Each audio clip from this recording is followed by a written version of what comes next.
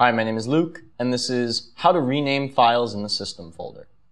If you'd like to rename a file in the system folder, what you're first going to need to do is navigate to the system folder, right-click, and rename it.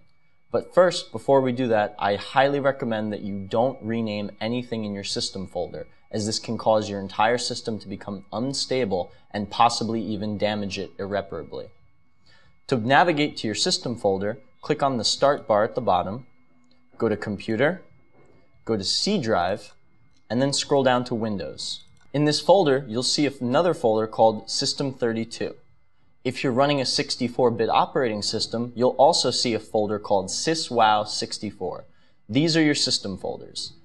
Navigate inside System32, right-click, and then go to Rename.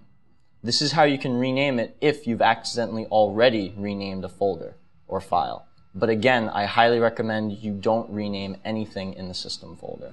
And that's it.